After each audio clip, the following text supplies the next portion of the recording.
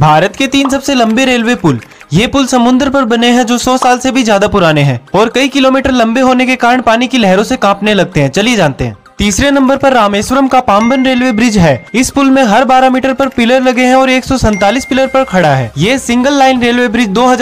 metre यानी दो kilometre से भी ज्यादा लंबा है उन्नीस में यात्री ट्रेन सहित पुल का आधे से ज्यादा हिस्सा ढह गया था जो दोबारा बनाया गया दूसरे नंबर पर इससे दोगुना बड़ा केरल के कोच्चि में बना हुआ वेम्बनाथ रेलवे ब्रिज है इसकी लंबाई चार किलोमीटर है इसे बनाने में दो करोड़ रूपए खर्च हुए भारत का सबसे लंबा रेलवे पुल बोगीबिल ब्रिज है ये 4.9 किलोमीटर लंबा है जिसमें सड़क और रेलवे पुल दोनों साथ में बने हुए हैं इसीलिए इसे बनाने में 5,900 करोड़ रुपए खर्च हुए क्या आपको कभी यहाँ जाने का मौका मिला है कमेंट में जरूर बताएं